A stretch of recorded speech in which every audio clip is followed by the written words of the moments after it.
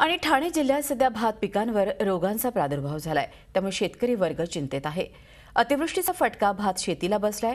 कृषी विभागाकडून शेतकऱ्यांना उपाययोजना सुचवल्या जात आहेत.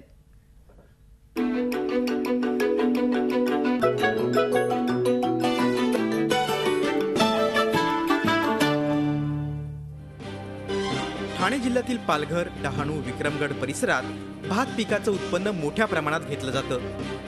मात्र सध्या येथील भात शेतीवर निळे भुंगिरे सुरळीतील अळी आणि खोडकिडा हा रोग आढळून येतोय. त्यामुळे शेतकरी वर्ग हवालदिल झालाय. यंदा या रोगामुळे भात उत्पादनात मोठी घट येणार असल्याची चिंता शेतकरी व्यक्त करतायत.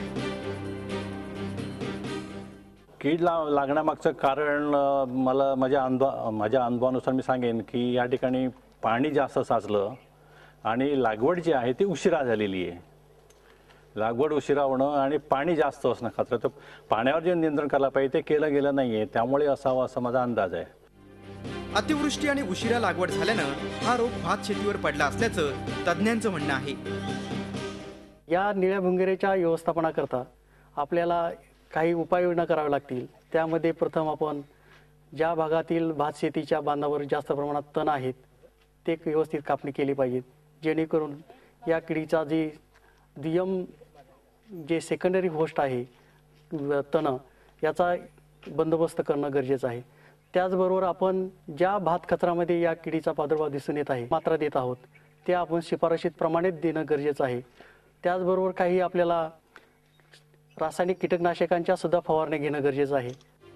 भात शेतीवरील या रोगांबाबत जनजागृती करण्याची गरज असल्याचीही माहिती कृषी अधिकाऱ्यांनी दिली आहे.